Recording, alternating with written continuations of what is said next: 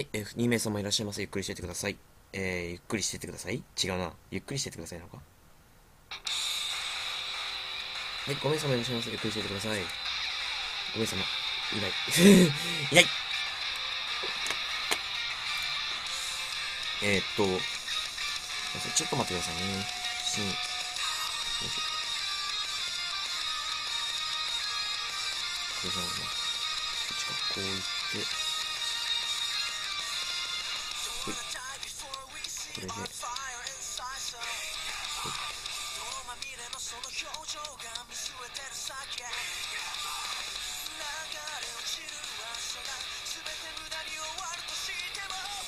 はい、お久しぶりです。MP さんいらっしゃい。黒田さんいらっしゃいってきちってる。はい、4名様いらっしゃいませ。ゆっくりしてください。あれ？はい、えーと、じゃあ、えっ、と、早速ね、あの、まあ、時間オーバーしてしまってますので、ちょっと早速ね、始めさせていただきたいと思います。えーと、遅れてしまいまして申し訳ございませんでした。えーと、始めさせていただきます。はい、えーと、時鉄さんいらっしゃい。食券さんいらっしゃいです。食券、ね、あの、生徒さんいらっしゃいませ。くれてください。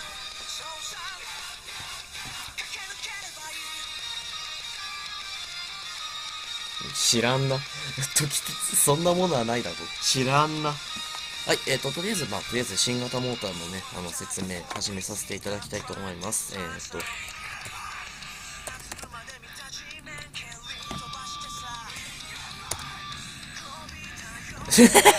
そんなものしかな。い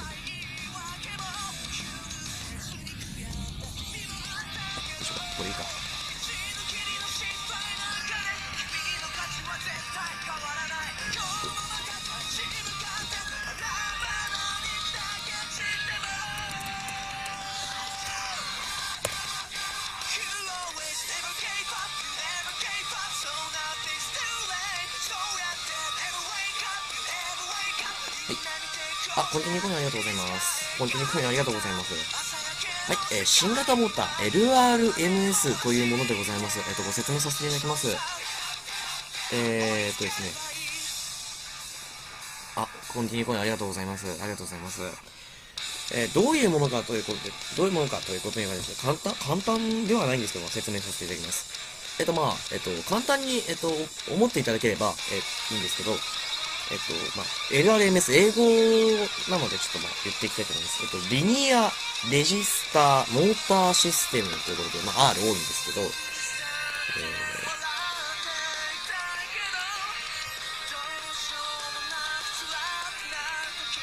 ー、リニア、えー、あ、ごめんなさい、BGM うるさかった。ごめんなさい。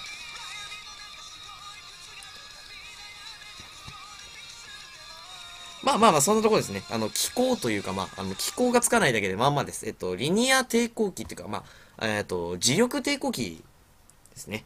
磁力抵抗電動器というものになります。えー、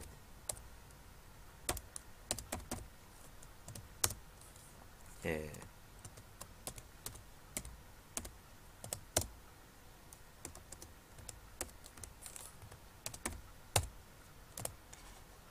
これで、えっ、と、リニアレジスターモーターシステムということです。え、走行音ですか？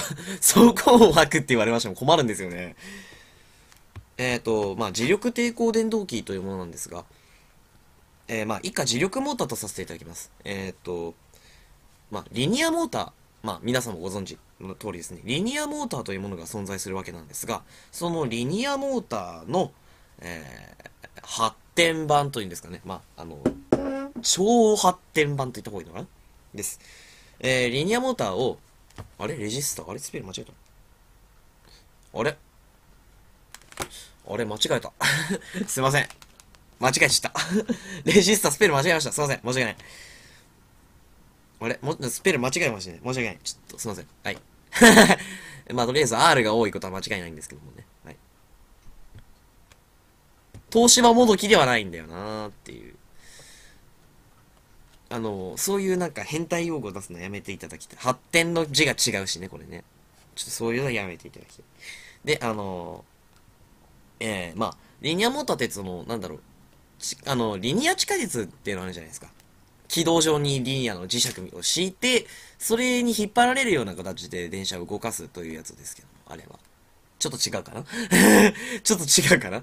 まあ、リニアモーターカー、あの、リニア中央新幹線のような、あの、形の、PMSM 的なやつじゃ全然ないです。全然ないです。合ってるけど全然違う。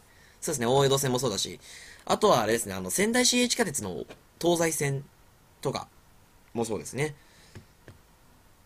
まあ、あとは、あの、リニア中央新幹線のような、あの、軌道上に設置されているようなものではなくて、完全にモーターがリニアになってます。磁石ですね。になっております。よいしょっと。合ってるけど違う。えっ、ー、とね、まあ、あのー、その観点的な部分では合ってるね。あ、それ言わない。えー、うん、お、おすいません。うん、グリーンラインは別に、あくまで一例なんだよな。まだ全部出してないんだよな。全然できてねえんだよな。それ、リニモとかどこ行ったんだよって話になっちゃうんだよな。もう仕方ないんだよな、それ。いや、あげたらきりねえから。まあ、えー、っと、まあ、浮上させるとか、そういう、同音異義語違う、それ。磁石ないと動かないけど。まあまあまあ、あの、あの、あの、観点が違う。あの、これは、あの、歯車ゼロ。あれ。あの、車軸と電動機をつなぐ歯車がなくなるっていう、突拍子もないもの。あ、これダチと一緒に考えたやつ。だからまあちょっと、あの、あまりにも現実的じゃないけども、ね。DDM。いや、違う。DDM にも一応、ね。一応歯車は、あの、繋がってない。繋がってもないけど歯車もない。っていうわけのわからないもの。えー、っと、まあ、具体的に言うと、台車の車軸を、まあ、囲うっていうのかな。囲う形で、円筒状のリニアモーター、まあ、磁石がぐるぐるぐるぐる回る、なんて言うんだろうな。うーん、まあ、磁石のす筋みたいなのがついてるモーターを、その、台車の車軸に被せるような形でこうやってカコッと。こうやってって言ってもわかんないもんな。あの、カコッと被せるような形で置い、設置するんですけど、その時に車軸から数ミリ離れるようにするんです。まあ、5ミリから10ミリ程度。離すような形で設置します。で、まあ、設計というか設置します。で、まあ、この時、あの、後々、あの、固定方法は、まあ、後々説明するんですけど、で、その時、あの、車軸に、えっと、固定の、えっと、固定極。まあ、要するに、あの、普通の磁石ですね。普通の電磁石。あの、極が固定、S、S 極、N 極が固定の磁石が、磁石の板を、まあ、何枚か付けときます。で、取り付けて、まあそのモーター、モーターに出力させたときに、あの、モーターの中の磁石、あれが移動極なんですよ。普通に、あの、まあ、大体わかると思うんですけど、その磁石、まあ、リニアの、あの、リニア中央新幹線みたいに引っ張られる、磁石のように、磁石に引っ張られる形で台車がひその、なんだろう、軌道についている磁石が、そのモーターに、モーターにぐるぐるぐるぐる回るような形でくっついたと考えてくれれば全然楽です。で、えっ、ー、と、その、で、その動く、その移動極っていうふうに俺は呼んでるんですけど、移動極に合わせて、その台車の固定極が引っ張られるようにして台車が回るというものです。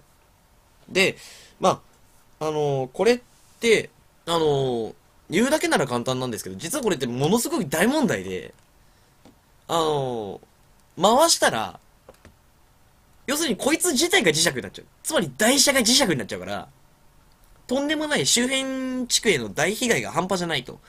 なんで、そのことを物物理の先生に相談したら、あの、まあ、要するにな、な、何を使えばいいと。車軸が回転軸そのままで、その周りに磁石というの、その、というのはその発想はなかった。まあ、まあ、誰もね、想像してない、あれ？書いちゃった。大問題で、まあ、そのなん、なんて言うんだろう。うん。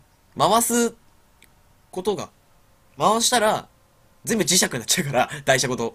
それだと、まあ、信号も壊れちゃうし、っていうことで、それで、まあ、物理の、うちの学校の先生に、物理の先生に聞いたんですよ。どうすればいいかなって聞いたんですよ。そしたら、ま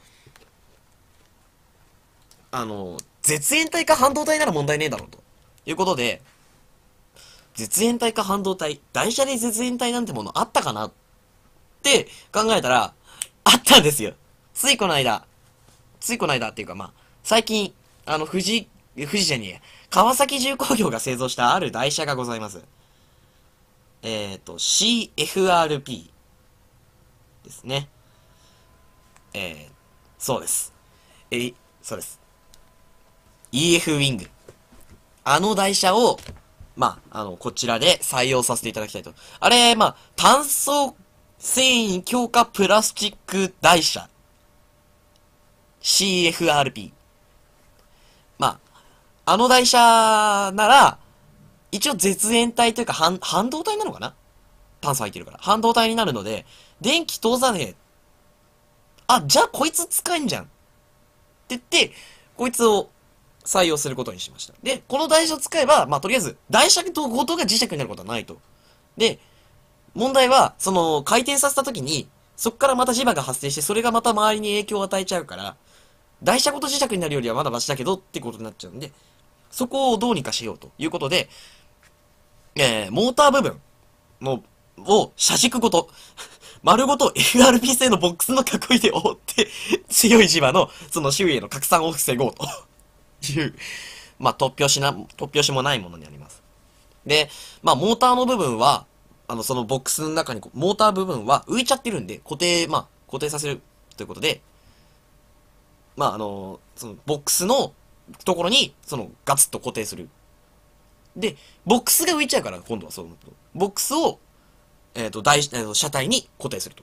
台車と車体の、あの、部分に固定しますと。枠に。ノーベル賞、さすがに、さすがにそれは、ね、研究開発はそういうところから始まるものです。まあちょっとそ、それ取れたらすごいけども、まあそういう、まあ、台車を二人でちょっと考えさせてもらいました。二人っていうか、まあ、あの、うちの学校の友人と一緒に考えさせてもらいました。で、まあ、あの、この台車っていうかもうこのモーターを使うには絶対に必要になるのが川崎重工業のコイルを車軸にどう巻いてるか気になる。コイルっていうか、あれなんだよね。あの、バネじゃないんだよ。その、バネを使ってる、だから、なんて言うんだろう。うんと、斜め方向にぐるぐるぐるぐる回ってるってわけじゃなくて、ずっと同一円状を回ってる磁石が何本かモーター内にくっついてる。それをぐるぐる回して、それがくっついていく。だ台車がくっついていく。車軸か。車軸がそれに回っていく。で、だから台車が回る。っていう方式のもの。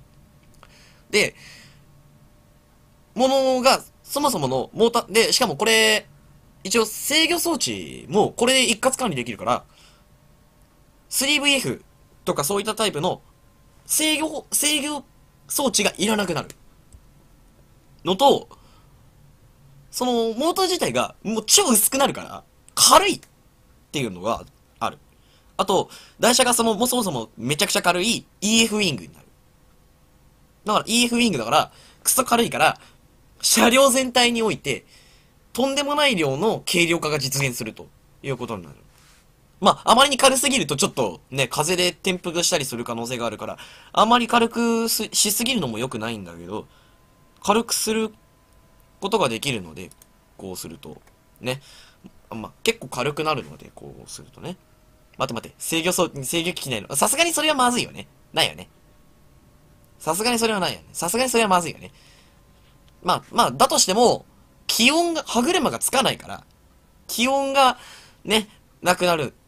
まあ、制御装置自体もそんなに激しい音が鳴るというものではないので、一応まあ、一応 SIC とか使えば全然問題ないと思うので、まあ、制御、制御機器はとりあえずつけるとして、CSIC の 3VF をつけたとして、で、まあ、うーんと、まあ、モーターも軽いし、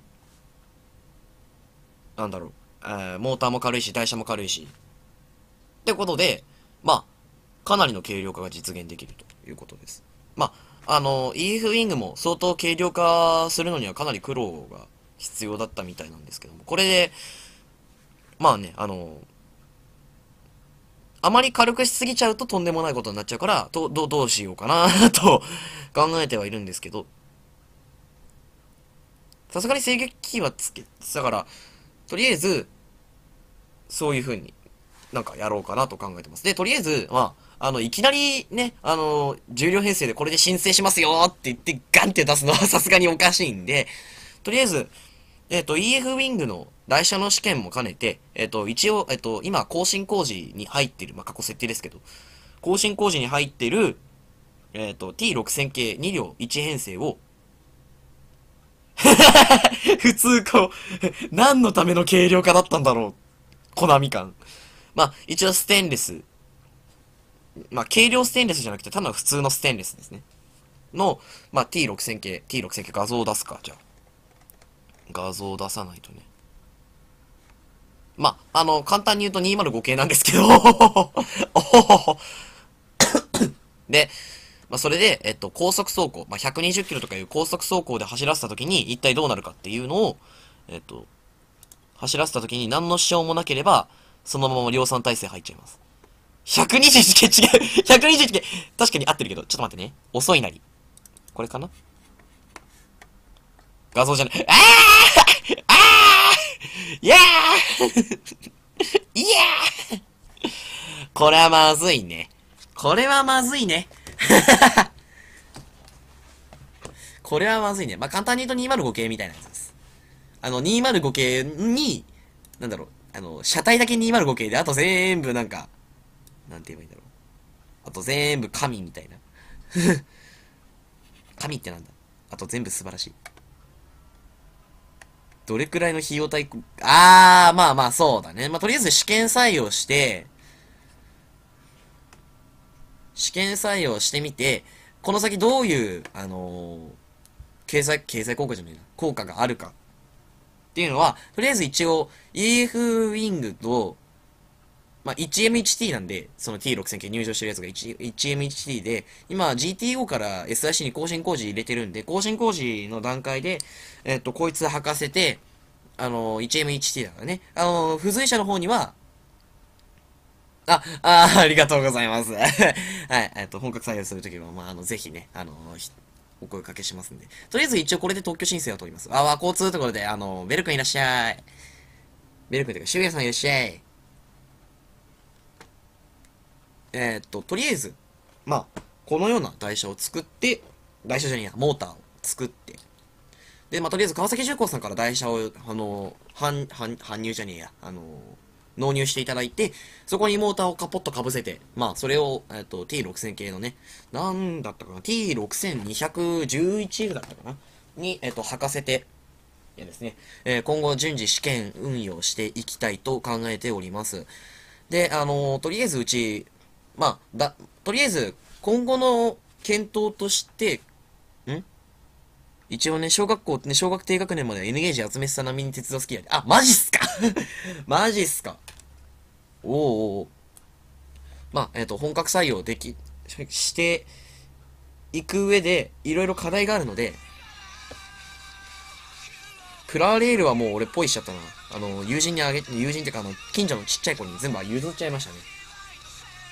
えっ、と、まあ、とりあえずこの、い、台車ってか、この LRMS を、と EF ウィングかの、えっ、と、試験、まあ、本格採用に向けた試験運用を試験したというか形で、まあ、T6101 じゃない T6211F かに、えっ、と、履かせて、えっ、と、今度出場させて、試運転させてみたいと思い、試運転して、まあ、一応営業に入れて、本格採用できるのは、まあ、うーん、なんだろう。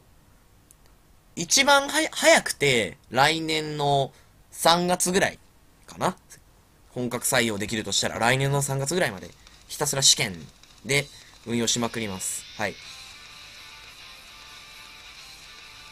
で、まあ、これがもしできたら、あの、まあ、あくまでね、理論上だし、架空鉄道の話だから、実際に実現するってわけじゃないんだけど、もしこれをね、これがね、ガチで、ガチ、ガチで鉄、ガチの本当に実在する鉄道で実現したらこれすごいなって 思うんだよなちょっとね、そういう淡い期待を持ちつつ ね、やってる。まあ、これをするとね、気温もなくなるし、走行音が消えるから、音鉄にとっちゃブチギレもんなんだけど まあ、想像以上な爆音が鳴る可能性も否定はできないけど、これはちょっとね、本当にちょっと面白いと思う。やってみる、やってみる価値は本当にあると思う。マジで。あの、この輪を持って鉄道総研に乗り込んでみたいかも。電磁誘導の音鳴ると思う。あー。じゃあまあ、走行音はそれなりにするのかな？じゃあ。とりあえず、これを、これをね、ちょっと、友達と一緒に、鉄道総研に売り込みたい、過去笑い。ね。ちょっとね、本当に、これはね、いや、あの、うん。あ、そうそうそうそうそうそう。で、あと、こいつを、一応 EF ウィングを、一応、火事台車な？ん？ひ兵兵兵兵祭り行こうかってどういうこと？え、わからないわからない。えっ、とね、火事台車じゃなくて、あのなんだろう。あのメトロの一線形についてるよな、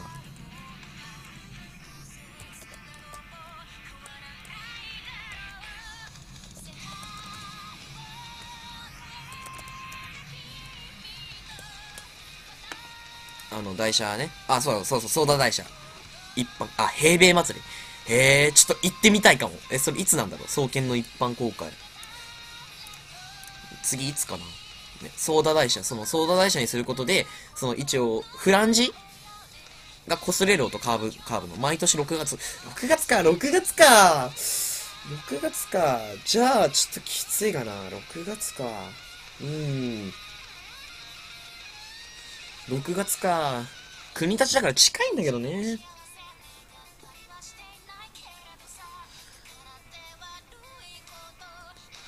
この時にね、ちょっとね、まあ、あの、いろいろ、まあ、来年だよね、多分。来年じゃねえ、今年か。今年あるとして、ちょっと行ってみたいかもな。行けたら。ね、このソーダ台車使えば、ソーダ台車にしとけば、カーブするときに音も減るから、フラットのそうだね、あの、タイヤフラットが起きなきゃ、タイヤフラットが起こる可能性は否定できねえから。そうだ、無理か。じゃあ仕方ねえわ。それは仕方ねえわ、じゃあ。そればっかりは仕方、あの、それが無理なら仕方ない。うん。イーフウィングはもう軸張りだから仕方ない。なるほど、なるほど。仕方ないね。まあ、多少はね、仕方ない、仕方ない。こればっかりはもう仕方がない。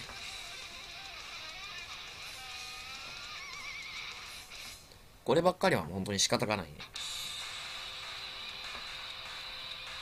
うん。ということで、まあ、とりあえず LRMS の説明でございました。けども、えっと、どうでしょう？あの、今後ね、あの、改良すべき点とか、なんか、ここを変えてみたらどうかなっていう意見あったら教えてほしいです。どうしようか。背景黒持ってないから。な。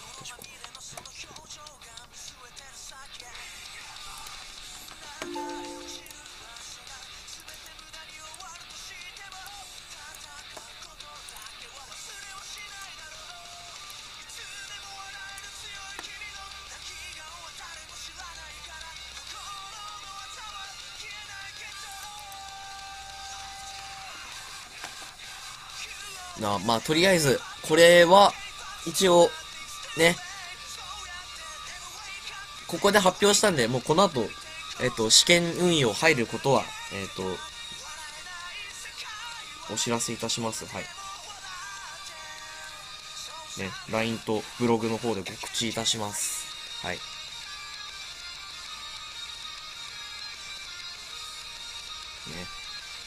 いやどうでしたか？あのこれ聞いてみて。率直な感想みたいなのがあれば欲しいです。はい。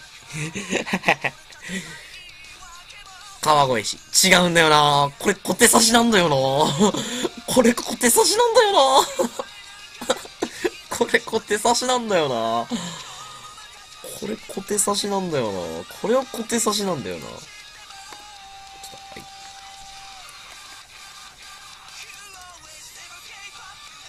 小手差しなんだよな小手差しだって言ってんだよなもうポツンとトイレ貼ってやる。階級入りまし。違うんだよな。違うんだよな。違うんだよな。いらねえんだよな。階級入りましいらねえんだよ。コテ、コテイチ。コテイチってどこだよ？コテイチってどこですか？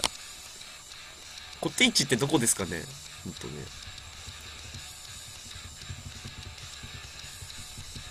あの、ポツンと、ポツンとエレベーター。貼っとく。じゃあ。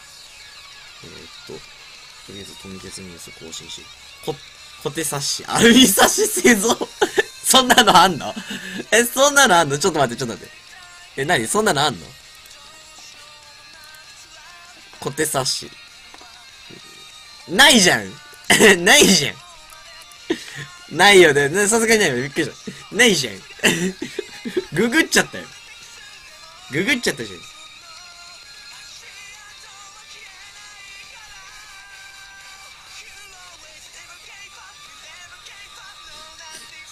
えー、ちょっとね、これは本気で、ちょっとね、うん。挑んでみる。挑んでみます。はい。ね。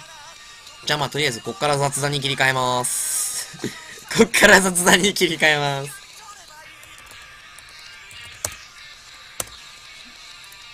はい、こっから雑談に切り替えます。あ、いや、一回切ろう。一回切って、次役行こう。うん。